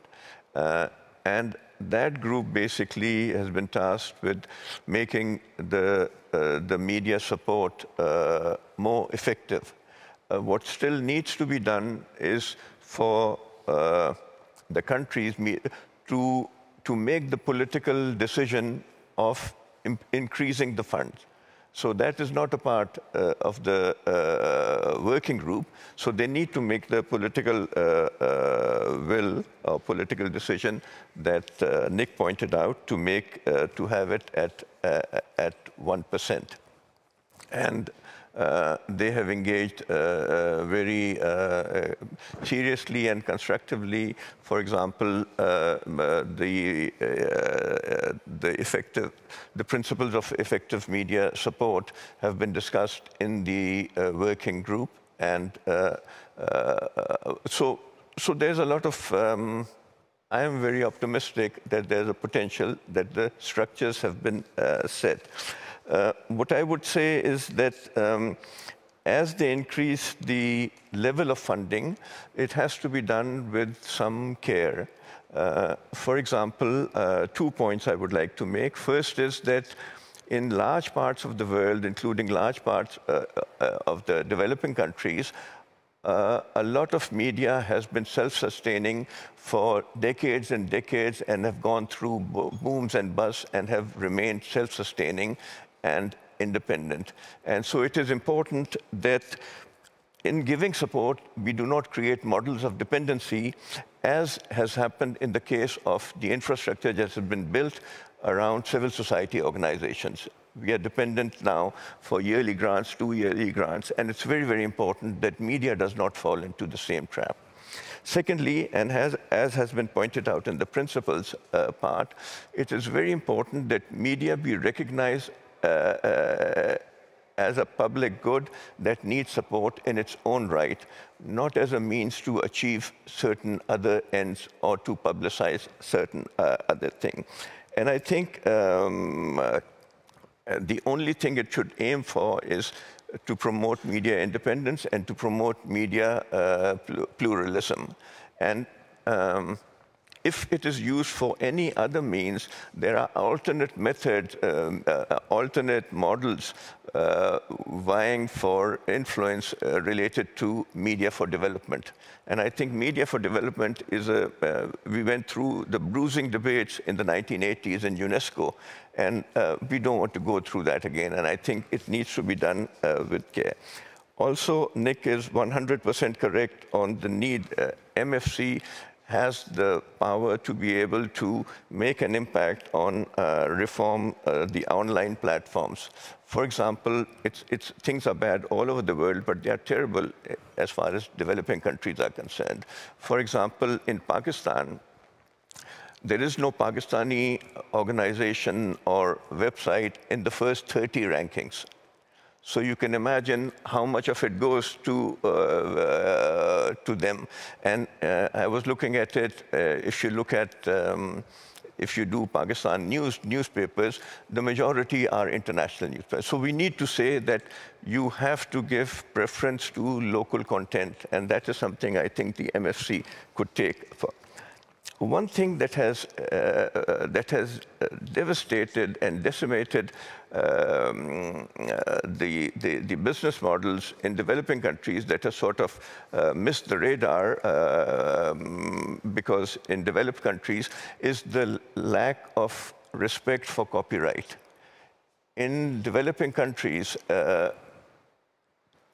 you put something on the website uh, a newspaper with all the expenses, you put it there, or a content, in two minutes, it's on a hundred other websites that do nothing but steal content and go from there.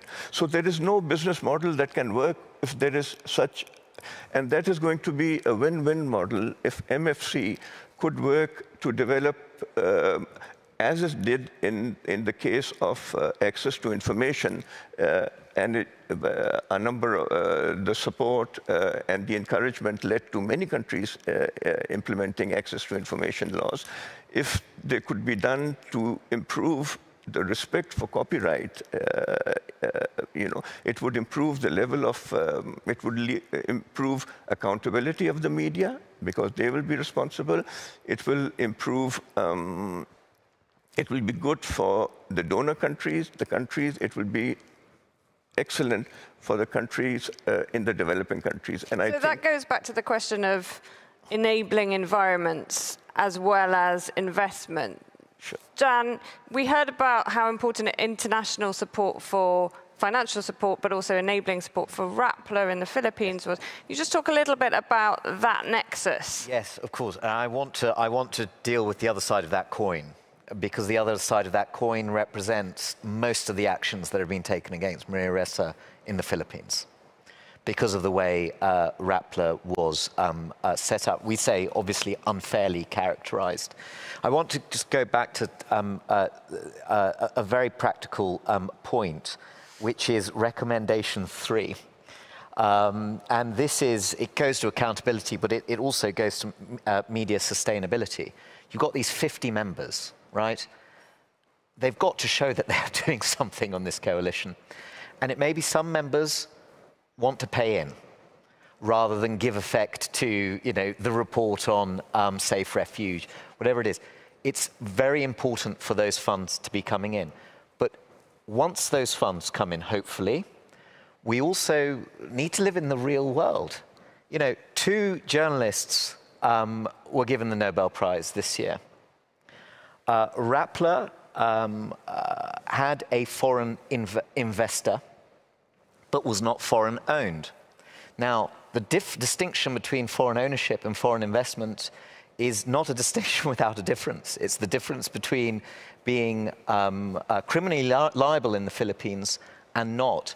So even when these grants are being given, these investments are, are, are being made, the countries in, in, into which these investments are going have to play fair. You can't be prosecuted um, for receiving a foreign investment. The Philippines itself has entered into a number of bilateral investment treaties encouraging foreign investment. Uh, so that's point one in relation to, uh, uh, to the Philippines. The second Nobel laureate, uh, Dmitry Muratov, the foreign agent law. The, the foreign agent law in Russia is um, a, a bulwark to allowing anyone but the state to pump funds into media. And so it's, it's very, very important. Obviously, we, we, we want the money, and that's the, that's the hardest thing.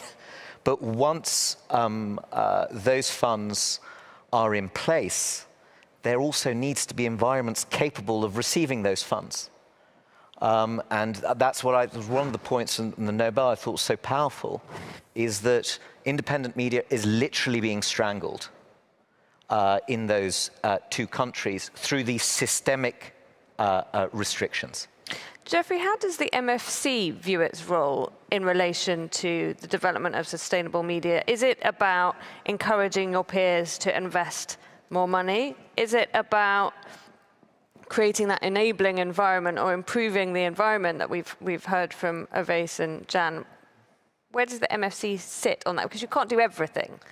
No, and you know, maybe I'll just, this is a fascinating discussion and there's a lot here to take in. I mean, just this segment has covered a lot of ground and it, it reminds me of some of the struggles we've had sort of in, in the cultural sector, which overlaps with media in Canada, you know, forever uh, in, in, terms of creating an appropriate enabling environment, one for a vibrant uh, francophone French language cultural production in a North America that north of uh, you know, the Mexico-US border is overwhelmingly English speaking, but also for creating a vibrant Canadian English language culture in a, in a you know, large physically country, physically large country, but a small population just to the north of the United States. So, um, and, and, there's no easy answers. I mean, we've, uh, I, I, think we've been broadly successful, probably more successful in creating a, a vibrant, uh, distinct French language uh, culture. Um, so I, I, think, you know, listening to Nick and listening to Ika, there are um, lots of great ideas there that will give us um, uh, you know, food for thought. I'm glad, you know, Owais spoke to the recent efforts of the Media Freedom Coalition in creating a working group uh, to look at this. And Owais, you said you were optimistic, so I'm going to let him speak. We've heard a lot of criticism here, but there's some optimism. Um, so, uh, you know, it, it, comes down to funding. And again, uh, in UNESCO, we have a, a, good partner. But as Can has just said, some countries, I mean, we put money in. They're, they're, how is the UNESCO fund going to operate in, in Russia, for example? Um, there's big challenges there. Uh, I also, I, I, think it's an important point that Ika raised about um, there's smaller players that are just as important that could get missed. Again, I think this is where we have to rely on the expertise of our diplomats on the ground to identify some of the smaller players. Yep. When I think back to my, you know, diplomatic career, I, you know, sometimes we're working with big players on big issues, but often it's, you know, we, the only, our meager funds, you know, $5,000 or 2,000 Canadian dollars has been a, a, lifeline for a small project with, not just on media, but on a yeah. range of things. So I, I think um, it's a new area for the, uh, for the MFC, but I think this discussion um, has given us lots uh, to think about, and, and we do have uh, the working group. Um, I guess uh, there were two more points I wanted to make, but I can only remember one of them. One of them is um, uh, you know, on the online aspect, the internet uh, aspect, the Freedom Online Coalition is another um, coalition, and I think there's good overlap between uh, some of the same issues and real opportunities for us to strengthen links with the Freedom Online Coalition uh, moving forward. And I think we'd hoped originally when this conference was planned for December that there could be literal overlap, and yes. unfortunately, a democracy summit sort of slightly got in the way of that. But anyway, we'll, we'll, pass, we'll pass over that. Mary, there's a lot on the plate for the Media Freedom Coalition. There's diplomacy, there's uh, the legal aspects, There's the regulatory aspects. Should they also be shaking the tin and, and, and working together on the funding part too? And how best could they do that? What did your research tell you? Well, to be honest, we didn't really um, give any specific recommendations about how they should raise money and how they should spend it, really. Um, we've left that up to perhaps other initiatives that we know are going on um, uh, to lobby donors, to lobby the core states. Um, I mean, we thank you, Can, for pointing to recommendation three, which is basically we believe that at least one of the following actions should be a requirement for retaining membership of the MFC, one of, one of which could be um, donating to the UNESCO Global Media Defence Fund. Um, but others could be National Action Plan for Safety of Journalists, doing a NAP. Each, each country could, should do that, really. Um, signing a better, a more, uh, higher proportion of the uh, joint statements and so on. Um, those are all concrete actions which are, I would say, just as valid as giving money. Um, I think, yeah, so we haven't, we haven't given any specific recommendations about how much money to give or how to give it. But I mean, I know from 25 years in this sector that there's always more money needed, definitely. And there's discussions later this evening and going into tomorrow about how people could spend the more money that we're encouraging you to spend. And I know there will be no shortages of demands on uh, Canada and your peers in the Media Freedom Coalition. So let's move into the final section. We're nearly there, folks. You've been very patient. Thank you very much. Um, what next for the Media Freedom Coalition? How can the Media Freedom Coalition better shine a spotlight and defend against attacks on media freedom? How can it raise the profile of the Media Freedom Coalition work? How can it integrate into the very many other initiatives that there are uh, to promote and defend media freedom? And how can it support media development? Um, I'm very pleased that we have with us uh, remotely, I think, I'm hoping, uh, Martin Scott, Senior Lecturer in Media and International Development at the University of East Anglia, who is part of the academic evaluation team, who's going to talk through some of the recommendations. And we're very sorry you're not here in person, Martin, but um, hello, welcome.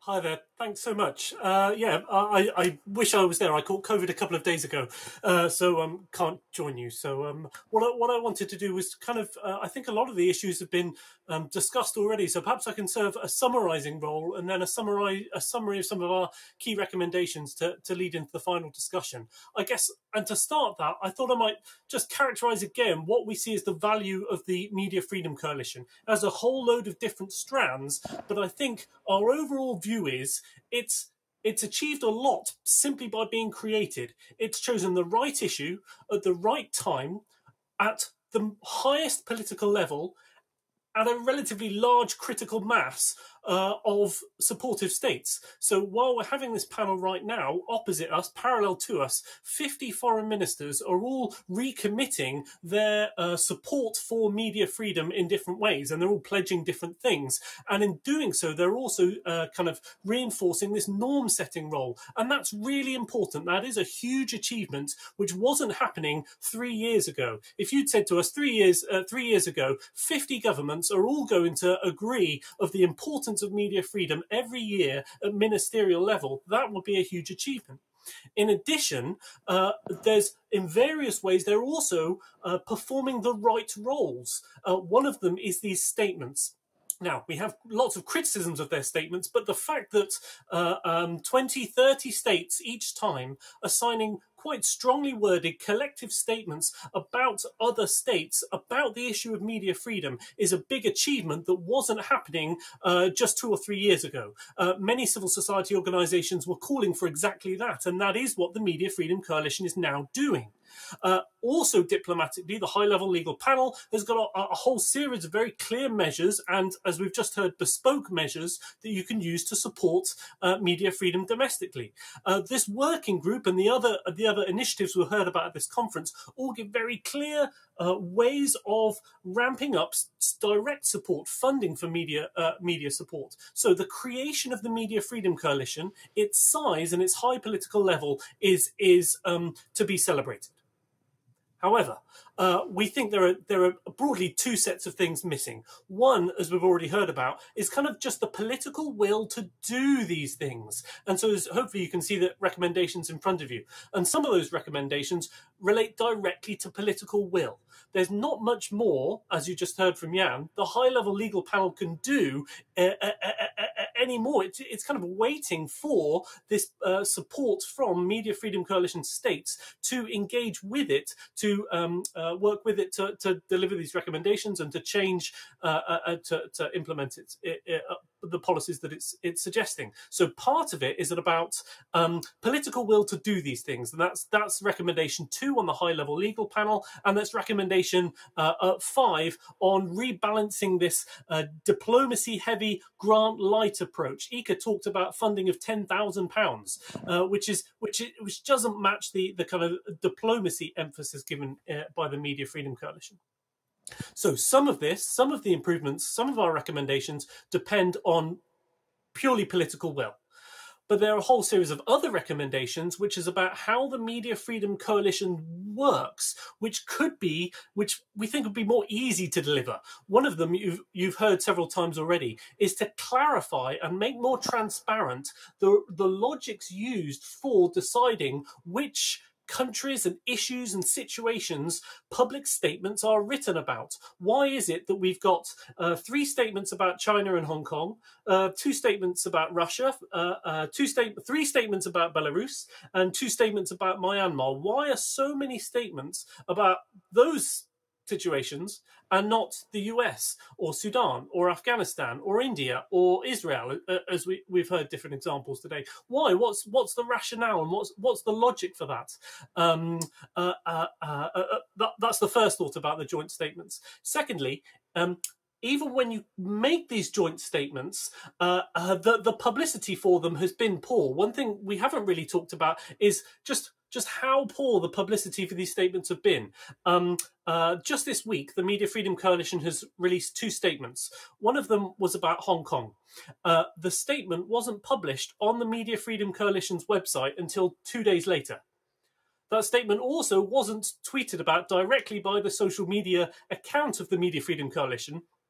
All it did two days later was retweet a tweet put out by the Public Media Alliance that was it. That was its. That appears to be, as far as I can make out, the promotional strategy for a quite strong statement about media freedom issues in Hong Kong is not matched by the level of publicity for it. Uh, another example: the second statement earlier this week was on um, Myanmar.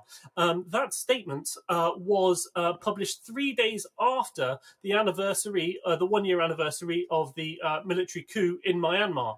Um, that seems like a, a, a, quite a simple missed opportunity to publish the statement on the day of the anniversary, making it much easier to generate media coverage about it. It's a relatively simple step.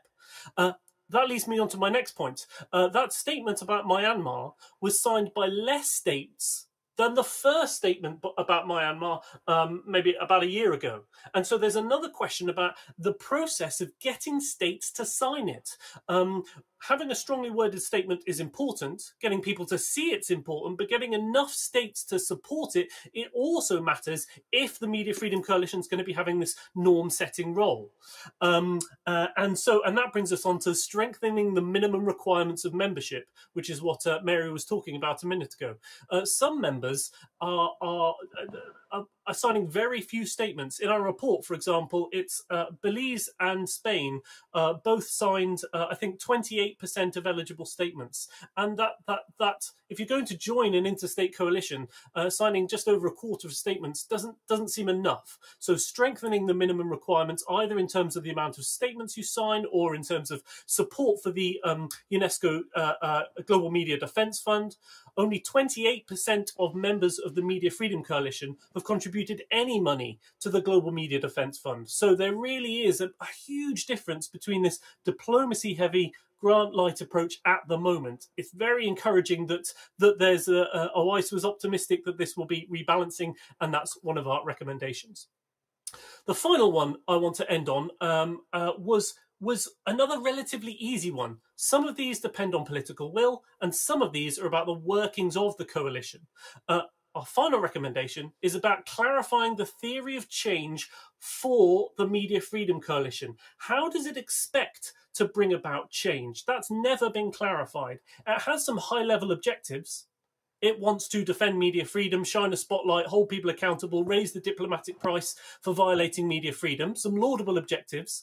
It has some activities but exactly how those activities contribute to its outcomes is not clear. We were second guessing it in the writing of the report, and making that pathway clear should make the activities of the Media Freedom Coalition much more effective. So, how, which which statements which situations of concern do you choose to write statements about? How many? How often? Supported by who? Publicised where? In correspondence with what? What actions through embassies?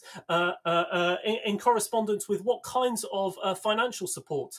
A theory of change, which hopefully the new secretariat that the Media Freedom Coalition now has can help produce uh, to kind of make its work more effective. There's a lot being talked about in this conference and on this panel about making sure that that any increase in funding is spent effectively to support media development, and that's that's exactly right. But let's have the same conversation about this uh, uh, about diplomacy. How can diplomacy done be done more effectively? Uh, be done more effectively. And the final observation I'd make about that, just reflecting on, on some of the contributions we've had, is that the Media Freedom Coalition has this big umbrella title of defending media freedom. But what was striking from some of the contributions is the very broad, wide range of different issues that that contains, from um, military coups in some countries to uh, uh, um, uh, copyright issues, to slaps, to um, uh, financial issues uh, uh, in the Philippines, in Afghanistan, in Sudan, in the US, in India, in Pakistan. The range of the range of issues of of related to an enabling environment that undermines media freedom is broad. Therefore, if the Media Freedom Coalition is to effectively support media freedom in all its forms, then we need to celebrate and embrace the diversity of experiences inside the coalition. We need to know that what's happening in Sudan is very different to what's happening in the Philippines. Um, there is some diversity inside the coalition. Costa Rica, Afghanistan, Japan, Lebanon, um, you know, Germany. We have a wide range of countries in the coalition, and so uh, I guess uh, my final point about clarifying the theory of change would be making best use of that diversity to properly understand how diplomacy, alongside increases in funding can uh, can genuinely support media freedom. Uh, I worry that kind of gets lost sometimes in these big statements that simply defend media freedom when the, the issue is so diverse. Uh, Martin, that, that was, was brilliant. Thank you so much. And you've injected some, some huge amounts of energy for our last for our last 20 minutes or so.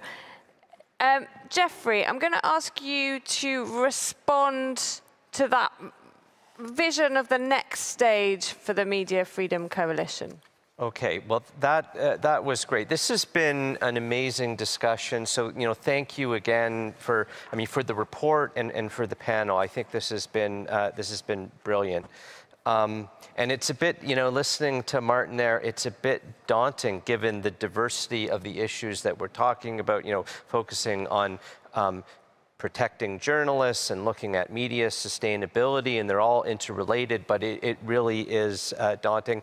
But I, am very optimistic about the year uh, that we have uh, ahead of us, but, uh, but beyond that. So I, I, mean, as I said before, the Media Freedom Coalition is a, is a young body. It's two and a half years old. It's more flexible than a multilateral mechanism, but I think, as we've heard from many of the interveners today, um, many would like to see it be a little bit more nimble and a little bit quick. I mean, we're always uh, have a challenge now that, that the larger we grow, um, the, the, more challenging it, it, can be to be nimble, but I, I, I think there's reason uh, for optimism.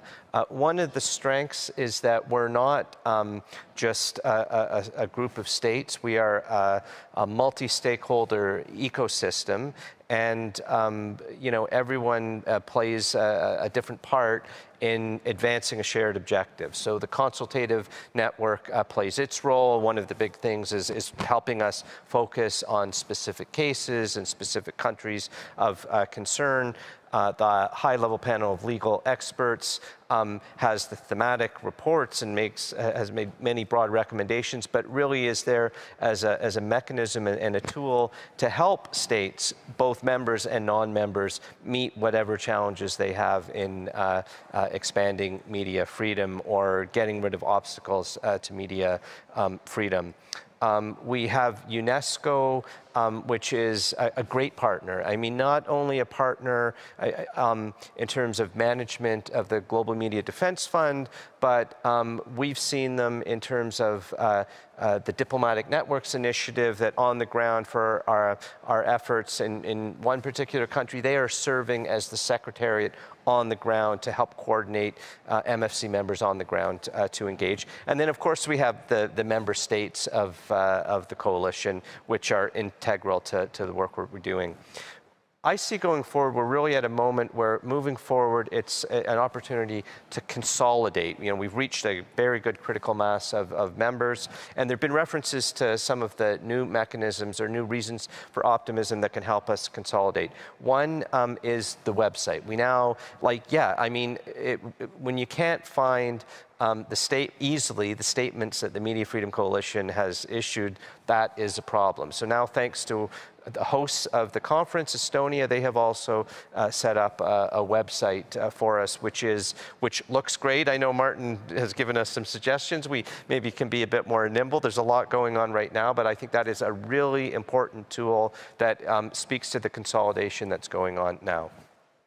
We also have a secretariat, thanks to um, the support, uh, you know, a legacy left to us by the United Kingdom, who has been there from the start and is passing, has passed on its uh, co-chair role to the Netherlands. But this secretariat will, um, I, I, think, really be an opportunity to help us um, focus on some of the big issues that have been raised now and not have to worry about some of the sometimes tedious administrative aspects that are vital to ensuring coordination, but that um, take away some of the time that's needed to focus on some of the big issues that are raised uh, now. I've spoken about the diplomat, diplomatic networks and energizing our mission networks on the ground, which is key. I won't go into that uh, little uh, anymore. Um, uh, we've revised, as I said, our terms of reference, which will help us be more deliberate um, with, with, a role for the consultative network in expanding our membership, but will also help us hold ourselves to account as members. And, and you know, Sudan clearly, we, I mean, I, as there was a reference made, work is going on, but we've got to more to do on uh, Sudan, and I think our new terms of reference will be helpful in Afghanistan uh, as well. But it, it, it's not uh, just there. Um, we have to increase our visibility. Uh, that is key. Uh, the website is part of, will help us in that, but really, um, I think the Secretariat will be a key mechanism to allow us to increase our uh, visibility, to make the, the work that we're doing and that we will continue to do more uh, prominent. Um, and, and, you know, I, I, think, you know, going back to something that started out at the beginning with uh, some of uh, Can's intervention, that we have real opportunities to energize uh, our states going forward in terms of dialogues with all the partners, with, with the panel, the legal panel, with the consultative network, and uh, with uh, UNESCO. So I'm very optimistic about uh, the year going forward. And I've, I've sensed that, I mean, I, have sensed that from everybody on the stage. And yes, we've got a lot of areas to work on, but I think we're helping to bring consolidation and increasing our means to collectively, this ecosystem that is the Media Freedom Coalition, advance on our shared objectives. And we appreciate you coming and taking the feedback and hearing the feedback, I think the transparency and the, uh, the willingness to be held accountable is really important. So thank you. I'm going to ask our other panelists one minute. Where do you see, what, what role do you see from the Media Freedom Coalition in supporting and defending media freedom and sustainability going forward? Can? Action. Action. Excellent. That's fine. Right. We can go on. Owais. Same, I would say.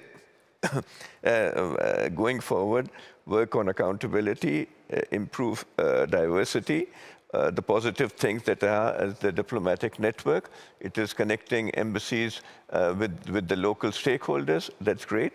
And the other thing is the working group on, on media safety. Thank you. And Mary? Yeah, reset, if you want one word, and then just continue being accountable to evaluators like us uh, in the future. You know, really good. Thank you. I'm now going to invite Ambassador Dr. Bahia Tahzib, Human Rights Ambassador of the Kingdom of the Netherlands, to come and speak. While she's coming up, if you give our panelists a big hand, and we. I, un I, understand our host would like us to leave the stage, so Ambassador, you can have the stage to yourself. So, oh wow! So we shall leave the stage, but please give a, a round of applause for our panelists while they while they exit.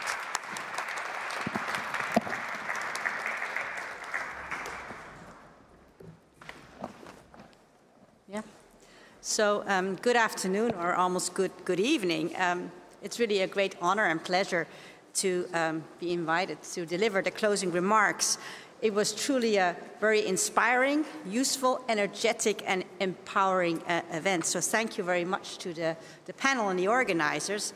As the new incoming Media Freedom Coalition's co-chair, I can say that the Netherlands is very grateful for today's evaluation of um, the coalition's important work. Um, thank you all for your excellent recommendations made by the panel and the independent evaluation report to continue strengthening um, the effectiveness, visibility, added value of the coalition moving forward. That's, that's really important because we all want a strong, effective, sustainable coalition. And we will definitely study with very great interest and attention um, the just released evaluation report Reset Required. All these ideas and insights help us in our efforts to effectively strengthen the activities of the Media Freedom Coalition and achieve concrete, sustainable results in support of media freedom. A big thank you, of course, to Internet Europe, Inter, sorry, Internews Europe, the Foreign Policy Center, and the academic uh, team for organizing this event. And I also would like to very warmly welcome the um, um, yeah, inspiring and also challenging panelists and intervening speakers for all their extremely valuable insights. The Netherlands, um, like the other co-chair Canada, we are very firm supporters of freedom of expressions, both online and offline, at home and around the world. Why? Freedom of the press is fundamental to a free, inclusive, and informed society and must be protected. But then when we look around the world, we see it, the decline in media freedom, and that makes it all the more necessary for countries to stand up, to take a lead and take a stand for a free press. So the Netherlands is, first of all, very grateful to uh, the UK and Canada for initiating the Media Freedom Coalition three years ago. And this coalition, um, uh, it's still in its infancy phase, of course, um, has still enabled us to do more together to support media freedom in all parts of the world and the safety and security of journalists. And that is not always easy, as we very clearly heard today. But raising our voices together is clearly more powerful and effective than making individual statements. It puts us in a stronger position, potentially, to take effective action or to be able to take effective action and have impact. That is why 50 countries in, in a span of just less than three years have decided to join and invest in the Media Freedom Coalition, some more than others. But also the good news that soon, hopefully, we will have two new active members uh, joining the Media Freedom Coalition.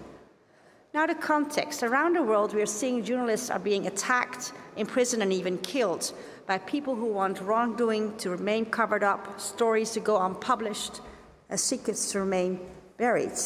That's why yeah, journalists are being silenced and why authoritarian regimes are continuing tightening their grip on the media. And um, as I did in another session, I want to briefly highlight two concrete uh, threats to media freedom that are particularly um, significant in light of the global pandemic and the global democratic recession. First, many media outlets are under immense financial pressure. Particularly, their advertising revenues are vanishing and their old business models are collapsing. And as a result, many news, new uh, news outlets are becoming more vulnerable to either bankruptcy or powers seeking to undermine reliable and independent news. And this is really clearly an, um, an, immediate threat to the survival of free and independent media to which we have to pay close attention. Second, the pandemic has magnified the risks many uh, journalists and media uh, staff face both online and offline. They are increasingly subject to physical and verbal violence, threats, intimidation, lawsuits, and imprisonment. In the past five years, UNESCO has recorded 400 killings of journalists worldwide. That's 400 people too much, or too many. It has also reported that almost 90% of the perpetrators go unpunished. So 9 out of 10, that's really amazing. And what happens is, is that the climate of impunity perpetrates the cycle of violence against journalists and the media. And it's particularly alarming, I would like to also emphasize, that women journalists are disproportionately threatened and harassed online. Almost 75% of all women journalists worldwide have faced multiple forms of discrimination, often, in, often intersecting with sexual orientation, race, religion, ethnicity, or gender identity. And this escalation of gender um, based online violence and harassment is of urgent concern and a serious threat to an inclusive and independent media landscape. So I heard very clearly what the panel and, and, the speakers were saying. It is also very important that we critically evaluate and review our media freedom in our own countries. That makes our actions and messaging in the wider world coherent and more credible. It shows that we demand a lot of ourselves, just as we have high expectations of other countries. I can say that in my country, the Netherlands, violence against journalists is, alas, unfortunately increasing, even though we are very high up uh, the ranking uh, of Reporters Without Frontiers. Um, last year, I would like to emphasize this, the Netherlands was really shocked by the murder of the Dutch crime journalist Peter R. de Vries in broad daylight in Amsterdam, something we just couldn't imagine it happened. And we really lost a meticulous and dedicated seeker of justice and truth. And something fundamental was changed in my country our free press, the right to record, write, and communicate without fear. And this harsh reality has only increased our dedication to improve the safety of journalists in the Netherlands and around the world. As the coalition's new co-chair, we'll be intensifying, together with uh, uh, Canada, the other co-chair, our close cooperation with the Consultative Network, which is a very important voice of civil society, the high-level panel of experts, and the 50 coalition members. We'll particularly aim to prevent attacks, protect journalists and media workers, especially women, and prosecute offenders. And we will be focusing on these three P's, both within and outside the Media Freedom Coalition. So prevent, protect, and, and prosecute. And we will especially push for more accountability for crimes against journalists, because in the end, accountability is the ultimate form of prevention.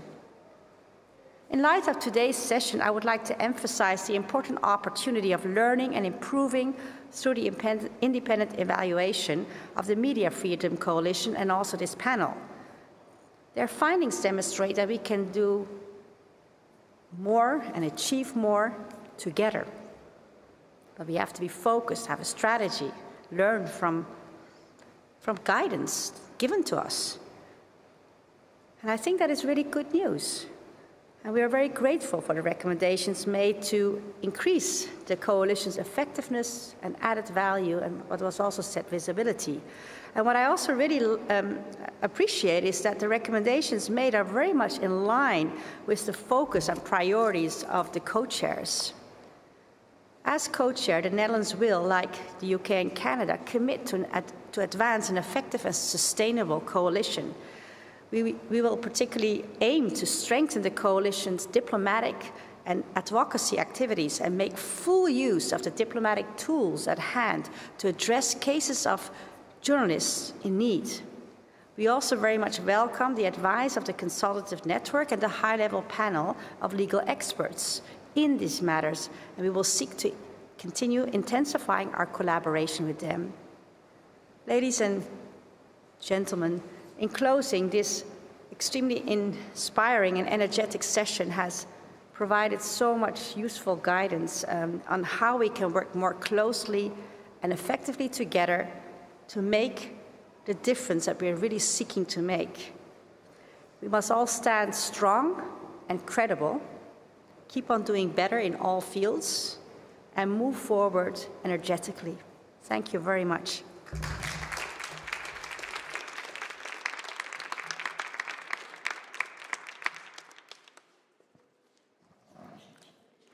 Thank you. That was really good.